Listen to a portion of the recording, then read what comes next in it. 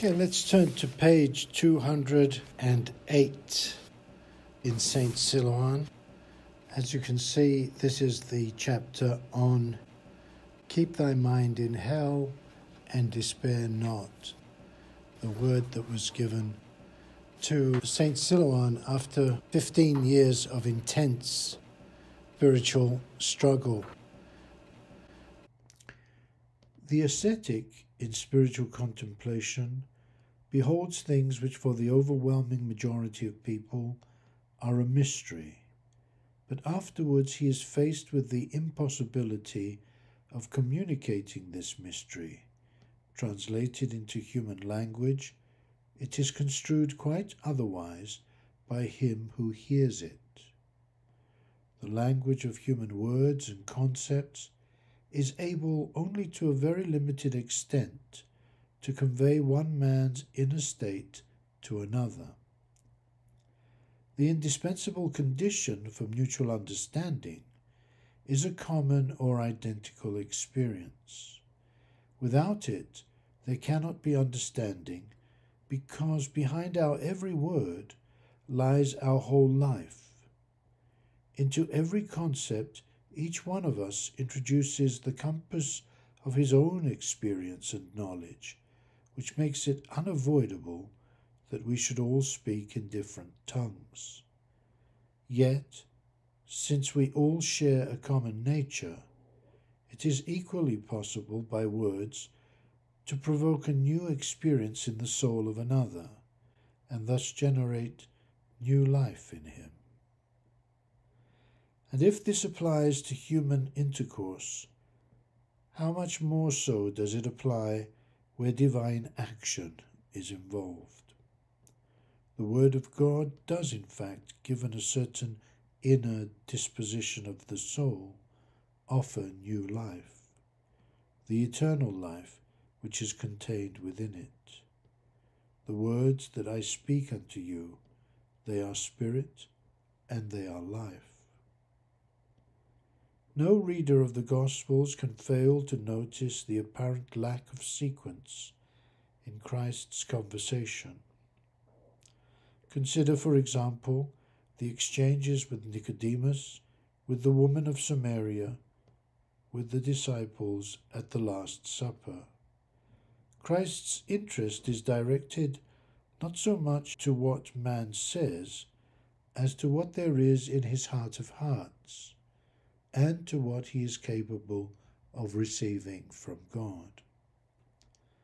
Bearing in mind, then, not only the inadequacy, but the clumsiness of language as a medium, let us now examine that strange manner of dialogue between God and the starets at prayer, which concluded with the starets hearing within himself the words, Keep thy mind in hell and despair not. At first reading, there appears to be little of profound significance about this prayer colloquy. But if we understood its inner meaning and the force of the revelation given to Silouan, we should be shaken to our very depths. Year after year, weeping, the starets implored the Saviour that the world should know God. If people, he thought, and by people he meant all human beings, could know the love and humility of God, like St. Paul, they would count all things but loss, count them but dung. Their pastimes and interests would seem like childish toys, and with their whole strength, day and night, they would pursue this humility, this love. And if it were thus, so the starets would say, the entire face of the earth and the fate of all mankind would be transfigured in a single hour. So powerful is Christ like humility. On Mount Tabor and on the day of Pentecost, it was revealed to Peter with indisputable force that there is none other name under heaven given among men whereby we must be saved. The ancients of Israel and the scribes marvelled at the boldness of Peter and John, unlearned and ignorant men. To the unlettered and simple Silouan, mysteries hid from the wise and prudent were likewise revealed, and the night of that supernatural prayer colloquy is of immense importance in his life. The world is plunged deep in the darkness of spiritual ignorance. The way to life eternal is preached unceasingly in all languages, but in each generation, those who really find it may be counted on one hand. Keep thy mind in hell and despair not. What does it mean to keep the mind in hell? Can it be that we are to use our imagination to conjure up circumstances for ourselves similar to those figured in some primitive painting? In this instance, no. Father Silouan, like certain great fathers, Saint Anthony, Saint Sisoi, Saint Macarius, Saint Pimen, during his lifetime actually descended into the darkness and torments of hell. They did this not once, but over and over again, until their hearts were so permeated that they were able to repeat the movement at will. They took refuge in it when passion, especially that most subtle of passions, pride, reared its head. The struggle against pride is, in fact, the final stage in the battle against the passions. To begin with, the ascetic must wrestle with the greater passions of the flesh, then with irritability, and finally pride. This last combat is undoubtedly the most painful of all. Taught by long experience that pride leads to loss of grace, the ascetic consciously descends into hell, where every passion is seared with a hot iron. The Starets observed that most people despair when they approach this state and give in. This is why the great Sisoi said, Who can bear St. Anthony's thought? By the way, I know a man, it was himself, Sisoi, who is able to bear it. Here, as Starets Silouan explained, Sisoi was thinking of what St. Anthony learned from the shoemaker of Alexandria. St. Anthony had prayed the Lord to show him to what measure he had attained. And the answer was that he had not reached the standard of a certain shoemaker in Alexandria. St. Anthony made his way to the man and asked him how he lived. The latter replied that he gave a third of his earnings to the church, a third to the poor, and kept the rest for his own needs. Antony, who had himself given up all he possessed and lived in the desert in greater poverty than the shoemaker, found nothing extraordinary in this. It was not here that he excelled. Antony said to him, The Lord sent me to you to see how you live. Then the humble working man who looked up to Saint Anthony and was dismayed by his words, answered, I don't do anything special. Only when I am working, I look at passers by and think, they'll all be saved, only I shall perish. Antony, sent by God to learn of the shoemaker, Antony, prepared by long and extraordinarily arduous ascetic struggle that had amazed all Egypt, to grasp the real meaning of what the shoemaker said, sensed the force of his words and realized that he had not attained to the stature of the man. Returning to the desert, he applied himself to the matter and taught it to other anchorites who had need not of milk, but of strong meat. Since then, other of the great desert fathers have passed it down through the centuries, a priceless heritage. Each of them, it is true, expressed it in his own way. Pimen the Great, for instance, used to say to his disciples, Believe me, my children, where Satan is, there shall I be cast also. But in essence, the message remains the same.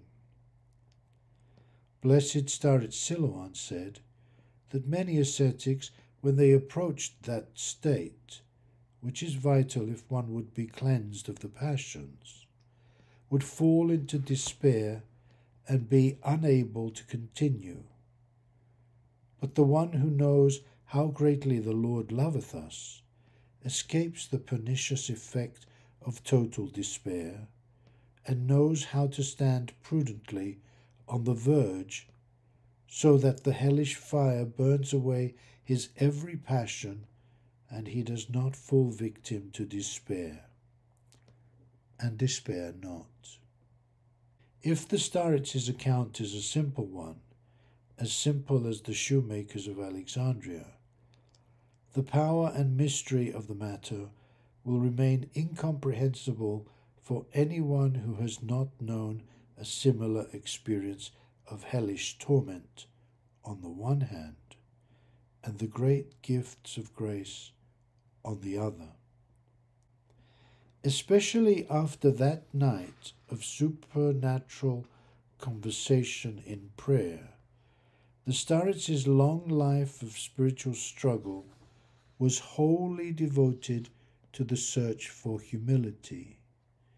And if we would know the manner and secret of that striving, we must meditate on his beloved song.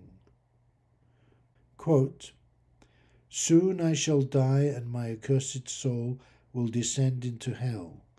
There I shall suffer alone in the darkness of the prison house, and cry with bitter tears, My soul wearies after the Lord, and I seek him in tears. How could I not seek him? He first sought me out and manifested himself to me, a sinner. Unquote. When he said, My accursed soul will descend into hell, it was no mere figure of speech. He was referring to a real experience of hell, an experience which, through the years, ate its way into his heart, to such a degree that he was able, by a deliberate movement of his spirit, to renew it in himself.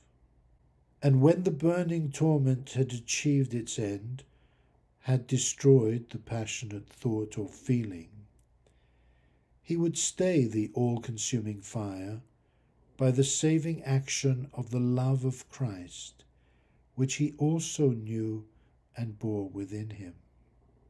He learned of this when he heard the response Keep thy mind in hell and despair not. The first words of his beloved song plunged him into hell. Then, by reminding him of God's love, he eluded despair. And despair not. Very few are able to do as the starets did. By persevering in this struggle, the soul grows accustomed and acquires endurance. The thought of hell so takes over the soul as almost to become permanent. And this persistence is indispensable, for man, clothed with flesh and living in the world, is constantly subject to the pressure of sin all around him.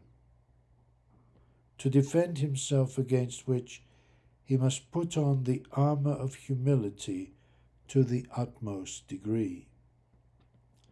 The starets declared, The Lord Himself taught me the way to humble myself. Keep thy mind in hell and despair not. Thus is the enemy vanquished. But when my mind emerges from the fire, the suggestions of passion gather strength again. This brief, inconsistent expose is incapable of conveying any real understanding of the ineffably wondrous life where extreme suffering is allied to extreme bliss, the one accompanying the other in the strangest manner. If the suffering existed alone, it would be impossible to bear it, and if there were only bliss, that too would be past bearing. What do you take away from this passage? What do you understand that might be of help to you? You remember on page 210, Father Sophrony summarizes the struggle against the passion of pride. But he says the struggle against pride is the final stage in the battle against the passions. And first, he says, the ascetic must wrestle with the greater passions of the flesh and then with irritability and finally pride. And of course, keep thy mind in hell and despair not is this final battle against pride, one would say, on the deepest possible level. And so I think it's fair to say it's probably on a level that, at least for most of us, is incomprehensible. We really have no knowledge because we don't have the experience that St. Silouan has, we really have no knowledge of the actual state that Father Sophrony is attempting to describe in human images and concept, in human language. So the question there is in what way can this example be of help to us. If it's so far above and beyond what many of us have experienced or even are likely to experience, what practical relevance does it have for us? But when Father Sophrony outlines in just a few words the quintessence of the shape of the spiritual life. That first we must struggle against the passions of the flesh. Most of us understand that. At least we understand something of that. And then of irritability. You may have noticed in your own lives or in the lives of those around you that irritability the passion of anger is seen quite commonly among those who are struggling in the spiritual life to lead a chaste life. The enemy, when he sees that this is taking place, comes in various subtle ways to irritate, to disturb a soul that is truly striving to be temperate in order to destroy the peace that that striving brings. The peace, the calmness, and the tranquility that is there can be destroyed in an instant by the fiery passion of anger, of irritability.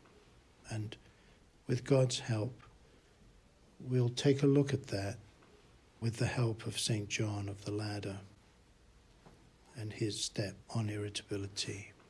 Because as soon as we begin to hold back a little bit and be a little more restrained on the physical level and place a certain emphasis on the spiritual life, on the life of prayer, course, then the enemy attacks us quite viciously.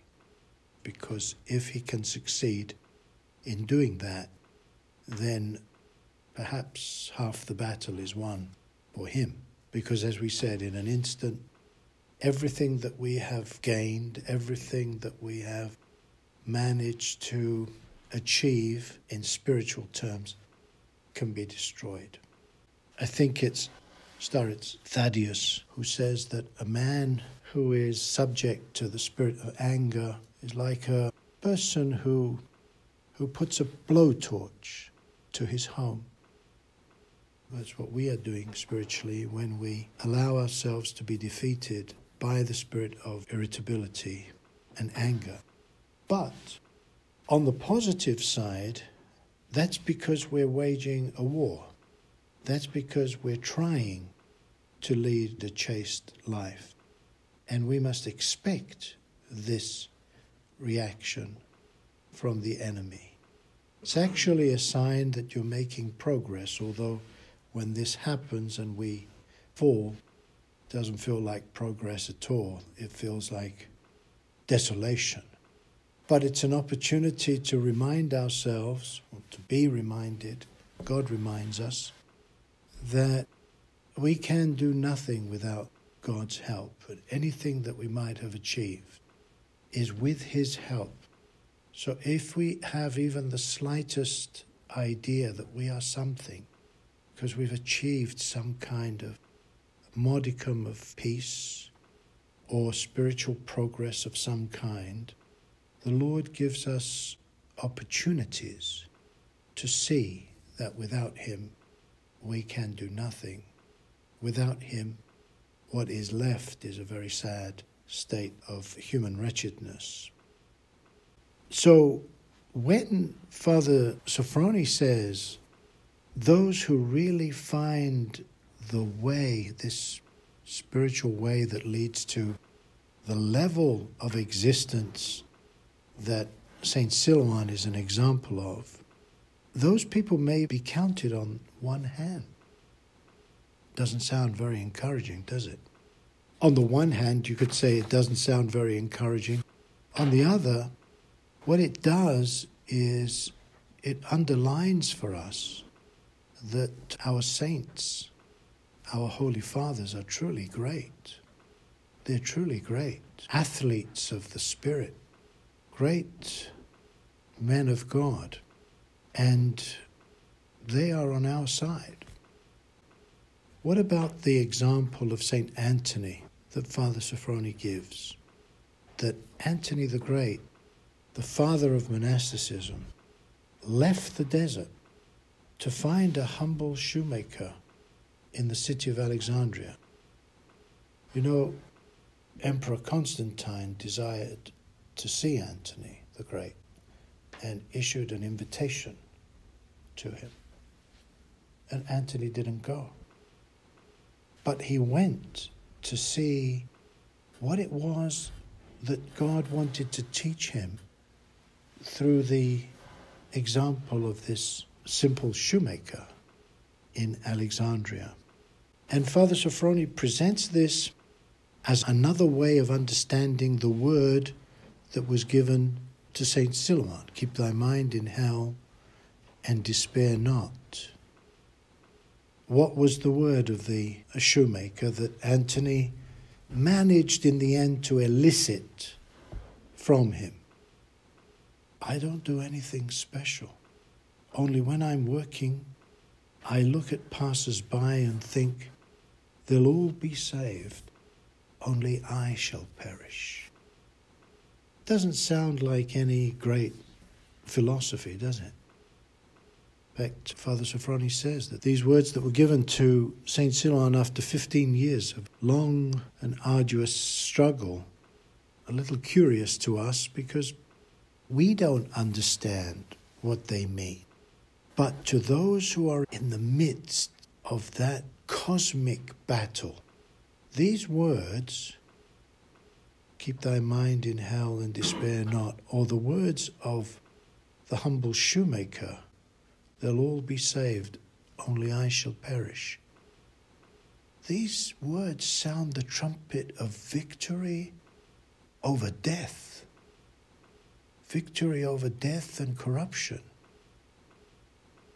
To grasp the real meaning of what the shoemaker said, Antony sensed the force of his words and realized that he had not attained to the stature of the man. Notice, there are many things we can note from this description. One of them is not to denigrate asceticism, because as we said, asceticism is living the commandments of Christ, and that's for all of us. But no amount of asceticism is going to do the trick unless it is accompanied by a humble thought, unless it's accompanied by humble mindedness.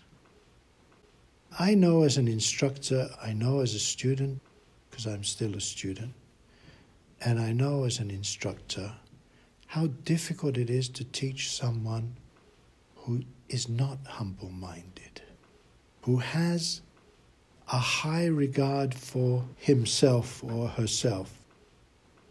Such a person already knows, and I've met, by this time, I've met probably all the different kinds of characters.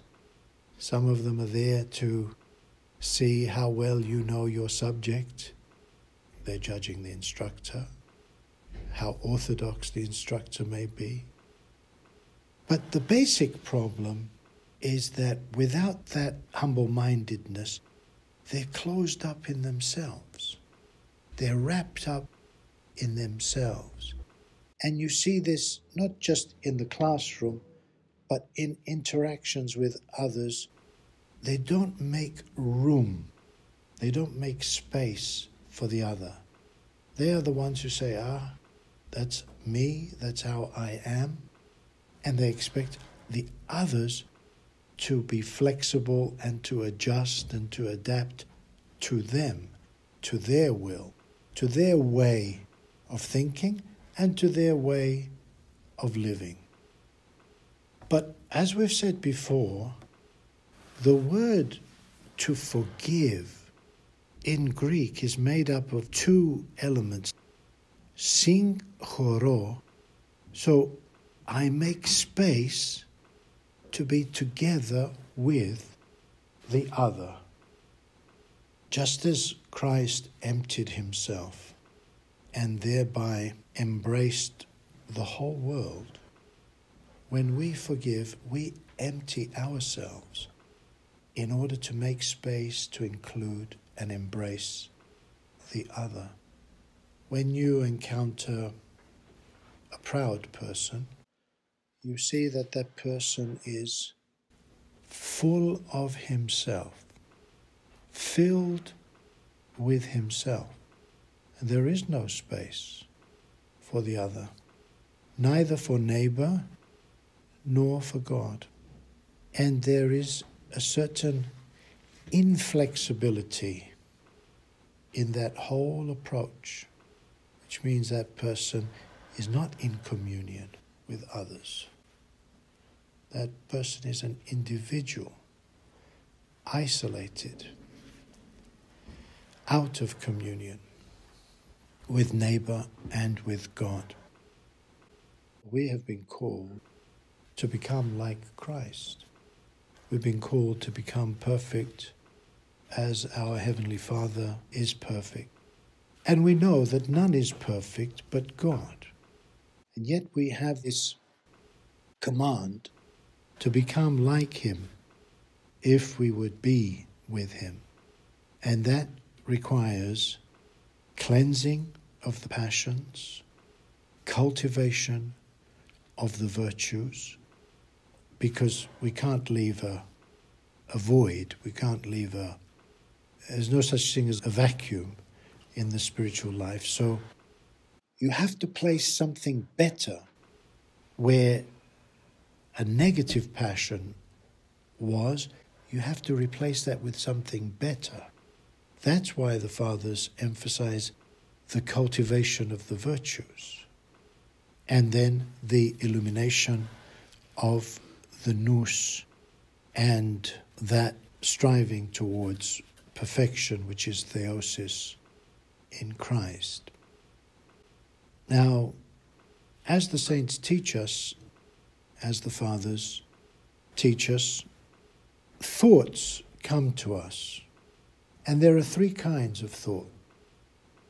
Those thoughts that come to us from God, which we must learn to accept. There are those thoughts which come to us from the enemy, which we must learn to reject. And thirdly, there are those thoughts which are born of our own nous, our own spiritual world.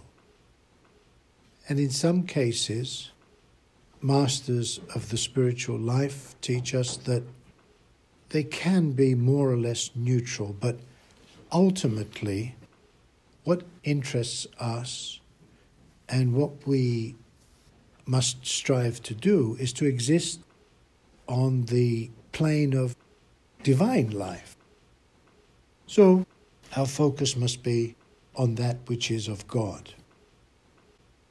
Yes, thus is the enemy vanquished.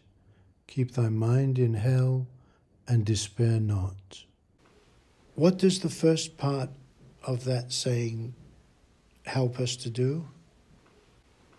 So, as Father Zacharias says in his books, what that is, is a voluntary downward movement. When we take refuge in hell, we're condemning ourselves to hell, which seems like a very negative thing. We're condemning ourselves to hell. How does that help us? I just mentioned thoughts. I referred to that as a clue. How does that help us spiritually? That movement of going down. Think of it this way think of it in terms of a battle. You know, we're engaged in a war. We may not be always aware of it, but there's a war going on.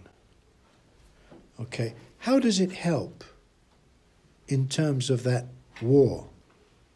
Let's say we are constantly being pursued by the enemy, especially if we're trying to do something good. The enemy is there and uh, persistent. So think of it in terms of being pursued by the enemy. Where do you go to escape the enemy? What can't he stand? Specifically, he can't stand a humble thought. What will he not do? Ever humble himself. This is highly significant. This is what the saints are showing us when they go down in humble self condemnation, what does the enemy refuse to do? He will never humble himself and he will never condemn himself because that's an act of humility, humble mindedness. So when we condemn ourselves as unworthy, unworthy of God, unworthy of hell, we escape we escape the wiles of the enemy, and for as long as we do that, he cannot touch us. We can pray with an undistracted mind. We are at peace, at peace from the thoughts that he will assail us with, the enemy comes to us with. But at the same time, there is the other part of the word that was given to Silouan, which is despair not. Because this self condemnation, this going down, down, as they say, to the nethermost parts of the earth, condemning ourselves to Hades itself, we find that the cross of Christ was planted down into the nethermost parts of the earth. So that when we go down voluntarily, we said before, we follow the voluntary way of Christ, we enter mystically into the stream of Christ's passion, of Christ's love. When he went down, he embraced thereby the whole cosmos, including Hades, so that when he rose from the dead, the light of his resurrection and his life filled every corner of the cosmos, including Hades. And despair not. Why? Because we know that God is love God is merciful and He loves a humble soul, a kindred soul. He loves all of us, but He is well pleased with a humble minded soul because when we begin to live in that way, we begin to resemble Him. So it's very important to know these things, even though the state of Saint Silouan, the state of Saint Anthony, the state of Sisoes, you know, they may be unreachable for us at this moment in time. Yet, we must have our reference, we must have our focus on Christ and his saints as our examples because hard times will come, difficulties will come. It won't be all plain sailing. The initial stage of inspiration will come to an end because it will be time for us to go through the desert like the children of Israel and to remember the days of old, to meditate on things past, in order to remind us that though we are tempted to believe that God is not with us, He doesn't exist, there's not really a, is there really an enemy, is there really a God?